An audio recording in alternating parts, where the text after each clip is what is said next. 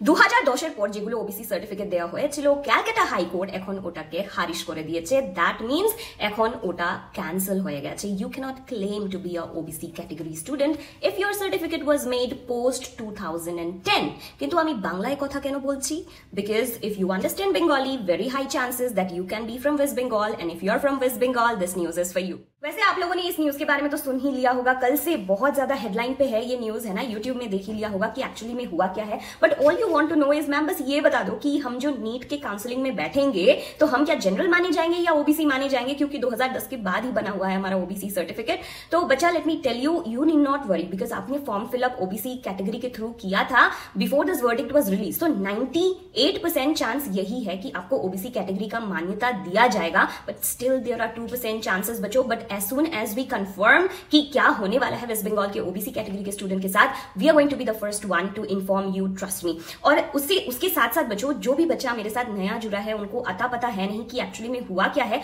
उनको थोड़ा back story में बता तो बात यह है कि जैसे ही ममता बनर्जी का सरकार आया था और as you people call her Mamata Didi, जब ममता दीदी का सरकार आया था तो उन्होंने क्या किया कि बहुत सारे क्लासेस को ओबीसी के अंदर डाल दिया। लगभग 77 डिफरेंट क्लासेस को ओबीसी के अंदर डाल दिया गया। ओबीसी कैटेगरी को भी ओबीसी ए ओबीसी बी के अंदर डिवाइड कर दिया गया। उसके अंदर ten percent and seven percent का रिजर्वेशन डाल दिया गया। अभी बात यह है कि किसी भी क्लास को आप कोई भी backward class S C S T के अंदर अगर डालते हो तो एक प्रोसीजर होता है। एक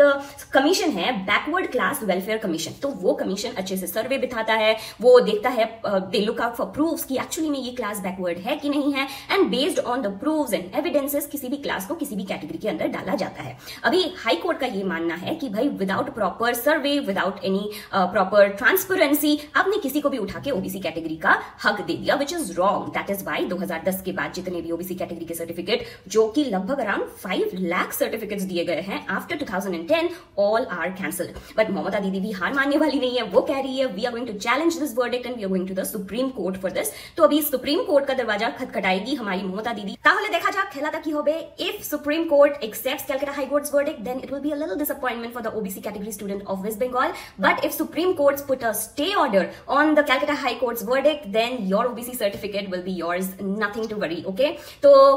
একদম চিন্তা করো না যা হবে ভালো হবে and next ভিডিওতে দেখা হবে বাই